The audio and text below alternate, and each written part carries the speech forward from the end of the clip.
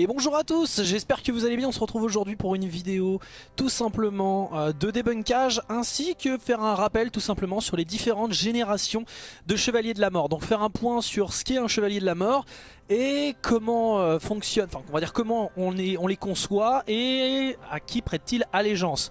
Donc tout d'abord on va parler de tout simplement de la première génération de Chevaliers de la Mort, il faut savoir qu'il y en a 4 de générations de Chevaliers de la Mort.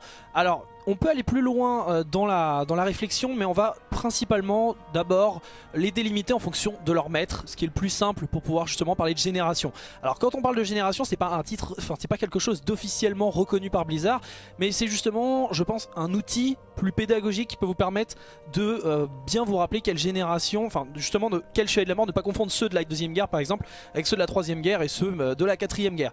Donc on va commencer avec les chevaliers de la mort, donc de Warcraft 2, donc de la deuxième guerre, qui sont eh bien des chevaliers de la mort très très particulier. Le, euh, Warcraft est un, univers d'Heroic Fantasy qui bien sûr s'inspire d'autres univers d'Heroic Fantasy et la plus grande œuvre qui a totalement, euh, totalement modifié les codes de l'Océan des Anneaux. Et Warcraft n'échappe pas à la règle, pardon. il s'inspire bien sûr du Seigneur des Anneaux, notamment avec ses Nazgûl, et les Nazgûl vont être, euh, tout simplement insérés dans Warcraft sous la forme de cavaliers noirs qui s'appellent les Chevaliers de la Mort. Ces Chevaliers de la Mort, ils sortent, donc ils ont un maître en particulier. Alors bien sûr, ils commandent, enfin ils obéissent tous au euh, grand chef de guerre de la Horde, à savoir Orgrim Doomhammer, hein, Orgrim Marteau du Destin, mais c'est vraiment euh, sur le papier leur maître, puisque euh, tout d'abord, le premier, les premiers Chevaliers de la Mort c'est tout simplement eh bien, des êtres qui ont été créés par Gul'dan. En fait, euh, Orgrim Doomhammer, le chef de guerre, lors de la transition Warcraft 1 en Warcraft 2, je vous laisse aller voir pour plus de détails la vidéo sur Warcraft 2, mais lorsque Orgrim devient le chef de guerre, il sait que Gul'dan et son, on va dire son conseil, le conseil des ombres, tous ses partisans, en fait, eh bien, dirigent la horde euh, dans, l'ombre. Et justement, eh Orgrim veut récupérer la main mise sur la horde. Et pour ce faire, il veut saper l'autorité de Gul'dan. Comment saper l'autorité de Gul'dan? Et eh bien, détruire tous ses partisans. Donc, que va faire eh bien, Orgrim? Il va massacrer les différents nécrolites et démonistes qui obéissent, qui sont aux ordres, tout simplement, euh, de Gul'dan. Et le truc, c'est que Gul'dan lui promet du pouvoir à Orgrim pour justement ne pas, être tué. Il va donner une partie de... Enfin, il il va promettre une arme à Orgrim Doomhammer. Et en l'occurrence, eh bien, il va utiliser de la magie de la mort pour pouvoir eh bien, ramener euh, des, les esprits, donc certains esprits morts euh, qui, sont décédés, dans des cadavres de chevaliers humains de Stormwind, donc d'Hurlevent, euh, de la nation d'Azeroth, donc qui ont perdu la guerre, je le rappelle, puisque c'est juste après Warcraft 1. Donc ils vont récupérer l'élite des euh, humains, hein, les chevaliers de Stormwind, d'Hurlevent, pour pouvoir les, remodeler, il va les faire se relever, tel un nécromancien, sauf qu'il va ramener les âmes de ses anciens euh, disciples, de ses anciens alliés, donc des anciens nécrolites et des anciens démonistes du Conseil des Ombres, qu'il va eh mettre dans les corps des anciens chevaliers humains. Donc ça c'est un procédé très intéressant puisqu'en gros c'est la, première apparition des Chevaliers de la Mort. Ils n'obéissent pas à un roi Lich, ils obéissent à Gul'dan et principalement Orgrim Doomhammer. Donc ça c'est quelque chose de très important. Donc en fait ce sont des, corps humains avec des esprits d'orques. Donc là-dessus, le, Chevalier de la Mort le plus connu de cette première génération de Chevaliers de la Mort, c'est tout simplement Theron Fielsang en français, Theron Gorfind, qui est tout simplement eh bien, un petit peu l'espèce de roi sorcier euh, de l'époque qui est le chef des Cavaliers Noirs, hein, le chef des Chevaliers de la Mort. Euh, il aura un rôle très important dans Beyond the Dark Portal, donc euh, la fin de la deuxième guerre. Je vous laisse aller voir la vidéo sur Beyond the Dark Portal. La plupart des Chevaliers de la Mort de cette première génération, où sont-ils Que font-ils maintenant? Eh bien la plupart ont soit été tués pendant la deuxième guerre, soit eh bien, ont rejoint Ner'zhul euh, sur l'outre-terre, enfin au moment de, sur Draenor, notre Draenor au moment où elle va exploser. Et la plupart eh bien, vont suivre Ner'zhul parmi les portails qu'il a ouverts. Et en fait, eh bien, tout comme Ner'zhul, leurs esprits vont de nouveau, de nouveau quitter leur corps et euh, tout simplement, eh bien, euh, suite à différents procédés, j'en reparlerai dans ma vidéo sur euh, la guerre de l'araignée, eh bien, Ner'zhul va tout simplement les faire toujours se battre à ses côtés, mais en tant que Lich. Donc la plupart des Lich que vous connaissez dans World of Warcraft, sauf Kel'Thuzad qui est la plus connue, eh bien, ce sont des anciens chevaliers de la mort qui avaient été levés par Gul'dan. Donc voilà, c'est pour ça d'ailleurs qu'il y a des noms assez orques. Si vous allez jouer à Warcraft 3, vous avez des noms parfois un peu orques c'est normal, ce sont des anciens chevaliers de la mort, donc ce sont la plupart des liches sont des anciens euh, orques. Donc euh, Terran par contre lui euh, mourra sur l'outre-terre, je vous laisse aller voir la vidéo sur Burning Crusade. Euh, deuxième génération et c'est probablement la plus connue euh, de Chevalier de la Mort et dans World of Warcraft euh, c'est tout simplement une reprise un petit peu de ces Chevaliers de la Mort puisque les premiers Chevaliers de la Mort de la première génération ce sont plutôt des espèces de justement des espèces de sorciers plus que véritablement des guerriers, des combattants, donc plus des sorciers, euh, des, espèces de, enfin, on disait des cavaliers sombres. Là, on est vraiment dans des chevaliers de la mort. hein. C'est vraiment l'idée du chevalier de la mort, le, gros chevalier. On regarde l'inspiration chevalier, et c'est tout simplement donc la deuxième génération qui obéit euh, pas à n'importe quel maître, puisqu'elle est menée par eh bien le premier roi Lich, le tout premier roi Lich, à savoir Ner'zhul. Donc, ces anciens, donc les anciens chevaliers de la mort le servent en tant que Lich et il va lever de nou- nouvelles armées de chevaliers de la mort avec et qui seront l'élite en fait hein, du fléau, les, grands généraux du fléau. Et pour la plupart en fait, comment justement sont-ils devenus chevaliers de la mort? Eh bien, ces chevaliers de la mort, cette génération là de chevaliers de la mort, il y avait des principes très euh, stricts. Là, on le voit d'ailleurs, c'est une illustration du baron Rivendell, donc euh, en français.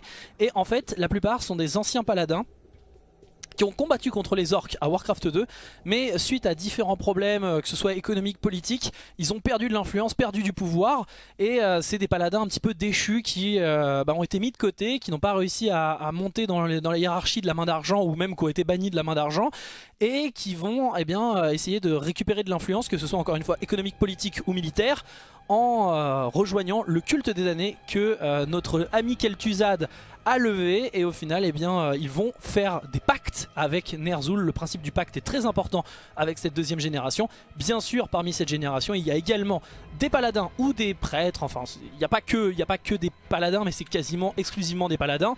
Mais la plupart ils ont tous des affinités avec la lumière qui va les faire tourner en pouvoir euh, démoniaque, en pouvoir d'ombre euh, avec, alors quand je dis ombre c'est vraiment l'ombre au sens large, c'est-à-dire plutôt les pouvoirs de la mort bien sûr, mais il faut bien comprendre qu'à l'époque l'ombre n'était pas égale, euh, enfin on revient d'ailleurs à cette définition là avec Shadowlands, mais pendant très longtemps l'ombre a été associée au vide, ce qui n'était pas, enfin ça c'est WoW, hein, parce qu'avant l'ombre c'était vraiment plus les ténèbres et notamment la mort, c'est ce qui revient avec Shadowlands. En l'occurrence donc ces chevaliers de la mort ont- sont principalement humains, il y a quelques elfes quelques hauts elfes tués et quelques nains, mais la plupart sont exclusivement des humains puisque ce sont des anciens paladins qui ont soit pactisé, soit été ressuscités euh, par euh, le fléau et par Ner'zhul. Donc leur pouvoir, il les tire principalement eh bien, du roi Lich de l'époque, à savoir Ner'zhul. Donc on a eh bien, le chevalier de la mort le plus connu de cette époque. Et c'est probablement le chevalier de la mort le plus connu de tout, Warcraft et l'un des personnages les plus emblématiques de la licence. Il s'agit bien sûr d'Arthas Menethil, qui est le prince de Lordaeron et qui deviendra eh bien, le roi de Lordaeron, hein, le roi des morts vivants. Et euh, par la suite, il deviendra même roi Lich. Donc euh, eh bien, c'est euh, Arthas qui a également fait un pacte hein, en récupérant Frostmourne. Il a sacrifié son âme et il est devenu un mort vivant, comme les chevaliers de la mort, hein, bien sûr, qui voulaient aussi, certains voulaient aussi récupérer tout simplement l'immortalité et plus de puissance, plus de pouvoir. Et eh bien, Ner'zhul leur a confié. À côté de ça, donc nous avons la troisième génération. Donc celle-ci, la deuxième a inspiré la troisième, puisque techniquement la troisième ressemble beaucoup à la deuxième. C'est juste que la troisième génération c'est celle de World of Warcraft. C'est la plupart des chevaliers de la mort que vous connaissez ou que vous incarnez dans le jeu sont issus de cette troisième génération. Alors bien sûr, hein, dans votre propre RP personnel, vous pouvez décider que de, vous êtes un chevalier de la mort de la deuxième, voire de la première génération. Mais la plupart des chevaliers de la mort, bien sûr créés par WoW comme ça, ce sont des chevaliers de la mort de la troisième génération. Donc c'est principalement des chevaliers de la mort créés à Wrath of the Lich King, mais aussi à WoW Vanilla, quand justement le, roi Lich change, n'est plus Ner'zhul, mais devient euh, Arthas. Bon, je vous laisserai, je ferai une vidéo sur Lich King, etc. hein, parce qu'à la base, je rappelle que c'est une fusion entre Arthas et Ner'zhul. Mais euh, dans tous les cas, cette nouvelle génération obéit au nouveau roi Lich, la fusion d'Arthas et Ner'zhul ou le Arthas tout seul.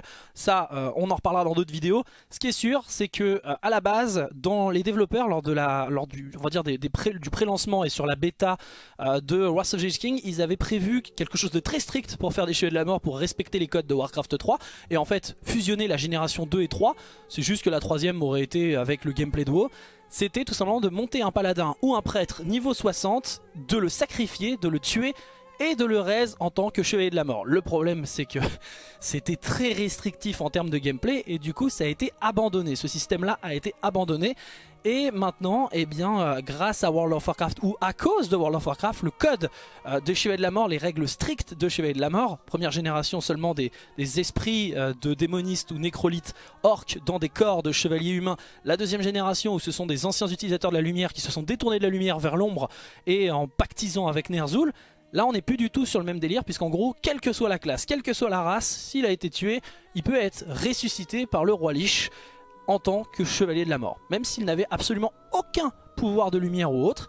Ce qui fait qu'il va y avoir bah, des guerriers orques qui vont revenir en tant que, chevalier de la mort. Vous allez avoir euh, des chasseurs, euh, je sais pas moi, des chasseurs euh, elfes, elfes de la nuit qui vont être amenés en tant que chevalier de la mort. Enfin, n'importe quoi. Les, toutes les races présentes à l'époque de Warsaw vont pouvoir jouer chevalier de la mort. Donc ça, ça a été abandonné. Euh, là, on a fait sauter les règles à l'époque avec Wars of King. C'est aussi un des problèmes de Wars of King. Et on en reparlera après justement dans euh, le débunkage de certaines idées reçues concernant la quatrième génération. Mais donc, euh, ça, comme je vous l'ai dit, il était prévu hein, à la base de, quelque chose de très restrictif et le gameplay a forcé l'ouverture. Le problème c'est que euh, dans l'histoire ça a aussi forcé, hein, l'histoire à cette époque était très dépendante du gameplay. Donc le gameplay a forcé ça et maintenant en fait le problème c'est que ça crée une énorme incohérence. Puisque bah en fait euh, si n'importe quel Pékin peut devenir un chevalier de la mort, pourquoi le roi Lich s'emmerde à ramener des squelettes et des ghouls ou des abominations alors qu'il peut directement faire full chevalier de la mort et avoir une armée d'élite? C'est ça le problème.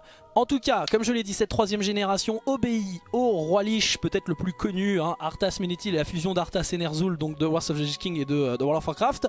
Nous avons bien entendu le Chevalier de la Mort le plus connu, alors il est moins connu que les autres, mais euh, c'est le Chevalier de la Mort le plus connu de cette troisième génération, il s'agit de Darion Mogren, qui est devenu le chef ensuite de la Lame d'Ébène, on en reparlera dans la vidéo sur War of King, mais euh, ça tease un petit peu bien sûr hein, la vidéo de War of King, mais du coup c'est Darion Mogren euh, qui est le paladin, enfin qui était un ancien paladin et qui est également, alors lui par contre il fait partie du code hein, de la deuxième génération, c'est à dire que c'est un ancien paladin qui est devenu un Chevalier de la Mort, et il a fait, un, en plus il y a une un principe de pacte, mais bon j'y reviendrai peut-être un jour pour lui, mais le principe c'est qu'il fait partie de cette troisième génération, celle qui obéit à Arthas en tant que roi Lich. Et il se rebellera d'ailleurs contre ce dernier. On a comme je l'ai dit déjà des soucis de cohérence à l'époque notamment euh, euh, vis-à-vis de certaines races. Hein. C'était déjà un problème euh, issu de Warsaw King, c'est que toutes les races pouvaient jouer Chevalier de la Mort, quel que soit le principe, enfin que soit l'espèce. Le souci, c'est que quelles que soient les classes et l'espèce. Le souci c'est qu'il y a des races qui viennent de débarquer sur Azeroth qui n'ont jamais euh, été liées de près ou de loin ou qui n'ont jamais pu apercevoir le fléau, comme les Draenei. Euh, il va falloir, il fallait s'accrocher à l'époque pour essayer d'expliquer comment les Draenei pouvaient être de la mort, hein, parce que c'est plutôt chaud, hein. c'est plutôt chaud compliqué. Alors bien sûr l'utilisation de la lumière, les Draenei sont très enfin sont très euh, là-dedans, en faire un chevalier de la mort c'est pas un problème. Le souci c'est surtout qu'ils n'ont jamais été en conflit directement avec les armées du fléau. Donc comment avoir des chevaliers de la mort Draenei C'est un petit peu problématique et Blizzard n'expliquera jamais. Pareil les elfes, les elfes de la nuit, on peut imaginer qu'il y en ait eu 2-3 deux, trois, assauts mais honnêtement les elfes de la nuit ils ont eu très peu... Euh, ils sont battus contre la Légion Ardente. On peut imaginer qu'avec la bataille du Mont il y a peut-être 2-3 ailes de la nuit qui soient récupérées. Mais encore une fois, c'est un souci. Il y a également les gobelins et les warguns. Les gobelins, bah, c'est pas expliqué, mais les gobelins, bah, c'est compliqué d'avoir des gobelins de la lumière et autres. Donc pour les détourner, c'est un peu... Euh, donc on a ouvert les vannes. On a ouvert les vannes. Un guerrier gobelin, boum, il peut devenir un chevalier de la mort. Par contre, il y a aussi les warguns où on pourrait se dire, bon, euh, warguns, c'est un peu pareil, c'est un peu difficile puisqu'ils étaient vraiment cloîtrés dans leur coin. Les Warguns, ça a été expliqué, j'en parlerai peut-être un jour dans une autre vidéo, enfin peut-être peut dans une autre vidéo. Globalement, les Warguns, ce qui a été fait, c'est l'idée que l'esprit d'Arogal ait été récupéré par le fléau et qu'il a continué ses expériences avec les Warguns et du coup il a fait des Warguns Chevaliers de la Mort. On peut dire ce qu'on veut, l'explication est un peu, on va dire, tirée par les cheveux, mais au moins elle a le mérite d'être là, et elle n'est pas non plus, même si bien sûr elle est un peu tirée par les cheveux, elle n'est pas complètement incohérente, donc pourquoi pas. Au moins les Warguns ça a été expliqué, par contre les Draenei, ah là faut pas en parler, faut pas trop en parler.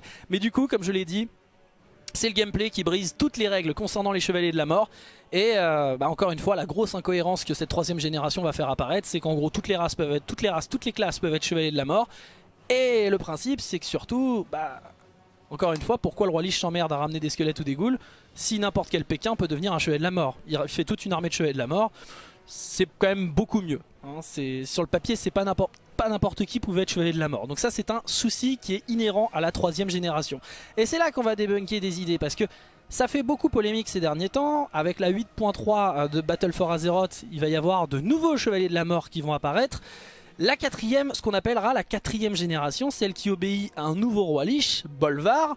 Et dedans, il va y avoir les Pandaren qui vont pouvoir devenir chevaliers de la mort, ainsi que les races alliées.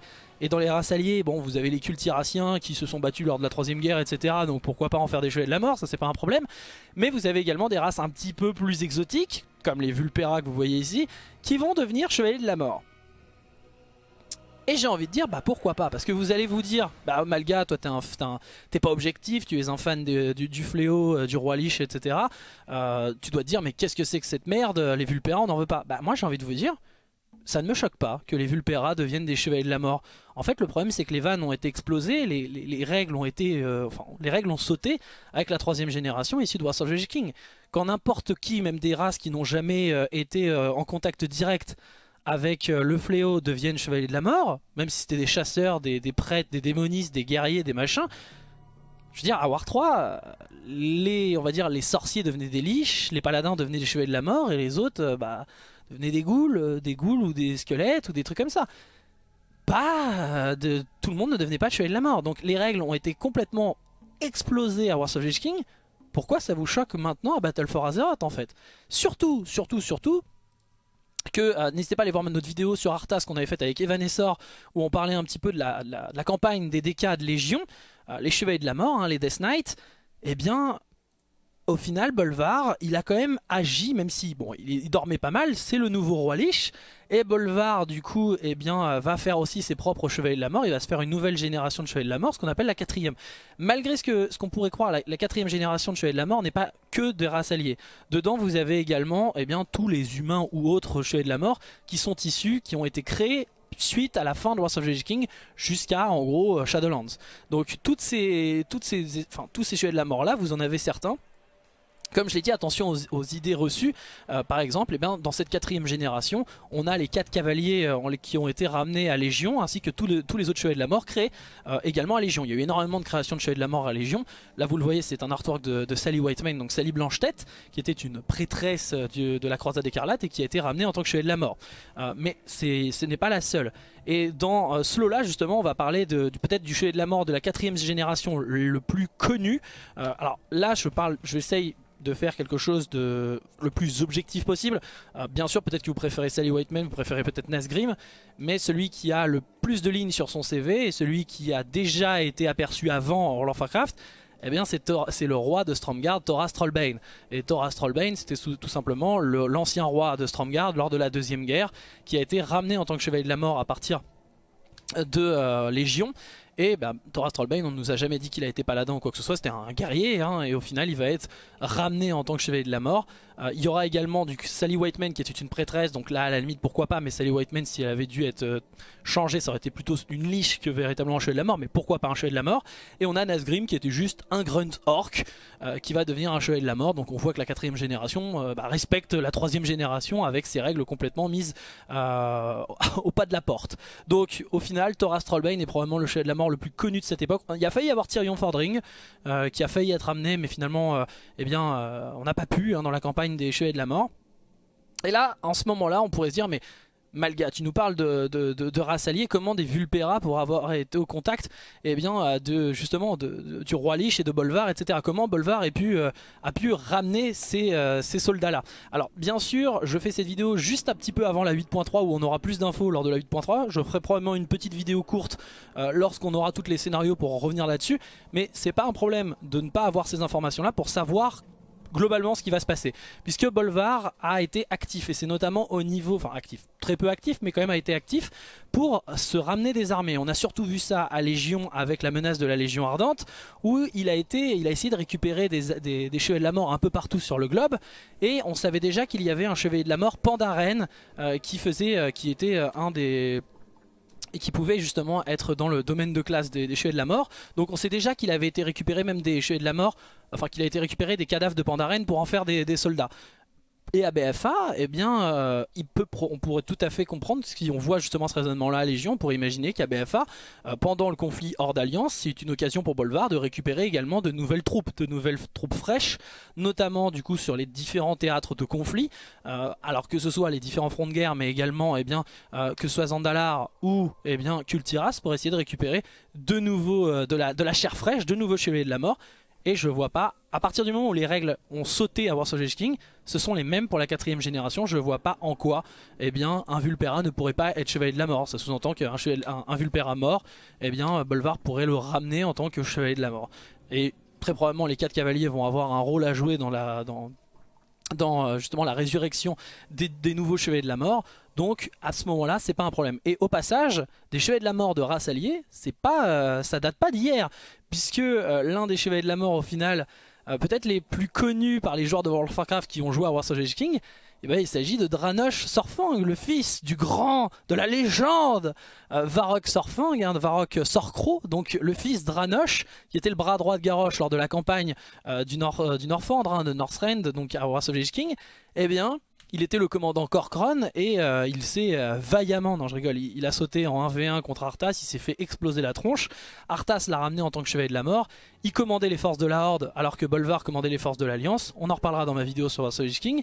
Elle arrive, ne vous en faites pas. C'était un orc magar, un orc à la peau marron. Et il a été ramené en tant que chevalier de la mort. Alors lui il ne fait pas partie de cette quatrième génération, et du coup il fait partie de la troisième génération, se ramené par Arthas. Mais au final, bah des magars, euh, des euh, chevaliers de la mort, ça existe déjà depuis War of King. Tout comme des cultiraciens, on peut très bien imaginer que des cultiraciens paladins euh, de Warcraft 3 aient été ramenés. Donc à ce moment-là, ça pose pas trop de problèmes. c'est vraiment là-dessus, j'ai beaucoup vu de débats sur justement le fait que des vulpérins, c'est un scandale inadmissible que des pandarènes puissent être chevaliers de la mort fallait se réveiller à Savage King les loulous. quand vous aviez des drainés chevaliers de la mort, c'était euh, tout aussi ridicule et quand surtout vous pouviez avoir n'importe quelle classe, n'importe quel soldat qui puisse être ramené en tant que chevalier de la mort. Puisque bah, Dranosh, euh, c'est un guerrier, hein, c'est un grunt encore une fois, et il est ramené en tant que chevalier de la mort. Donc euh, fallait se réveiller à Savage King, pas maintenant. Parce que maintenant, au final, eh bien, ils ne font que respecter, je dirais, ce qui avait été fait à Savage King. Et bah, ils profitent de ce gameplay où justement bah, des Vulpérins pourraient devenir chevaliers de la mort. Sachant que pour toutes les races alliées, bien sûr, on pourrait se poser des questions. Vous avez notamment, par exemple, euh, il y avait une tentative d'explication sur les Andalari qui disait justement que c'était des, apôtres, des prélats de, de Samedi. J'aimais beaucoup cette idée-là. Mais euh, il est fort probable qu'on mette un petit peu tous les, les Andalari dans le, même, panier que tout le monde. Et tout simplement dire que bah, Bolvar a ramené les cadavres et il en a fait des chevaliers de la mort. Et bah fallait gueuler à l'époque de Wrath of King. Pas maintenant, c'est trop tard. ça semble incohérent pour vous ça, eh bien c'est Wrath of the Lich King. C'est, euh, on va dire, l'héritage de Wrath of the Lich King. Donc voilà. En tout cas, euh, j'espère que bah, cette vidéo aura été assez courte, mais ça vous a présenté les 4 générations. Retenez donc peut-être les différents maîtres de ces 4 générations, ça peut vous aider. Première génération Gul'dan, qui n'est pas le roi Lich. Hein. Deuxième génération, c'est la première d'un roi Lich Ner'zhul troisième génération, celle d'Arthas euh, en tant que roi Lich. Et la quatrième, celle de Bolvar. Donc on verra avec Shadowlands s'il y aura un retour du roi Lich. Puisque je rappelle que la couronne, euh, le home de domination a sauté euh, lors de la... J'ai fait deux vidéos sur, Shadowlands, je vous invite à les regarder bien entendu. À mon sens, il, aura, il y aura probablement, je pense, un retour du roi Lich malgré tout. C'est un ennemi il est fort probable que l'homme de domination soit reforgé à Shadowlands, mais bon, ça ce n'est qu'une théorie pour le coup. Mais on verra euh, ce qu'il en est. En tout cas, j'espère que cette vidéo vous aura aidé et aura pu briser 2-3 idées reçues. Les Chevaliers de la Mort, ça n'existe pas depuis World of Warcraft, c'est bien plus vieux que ça.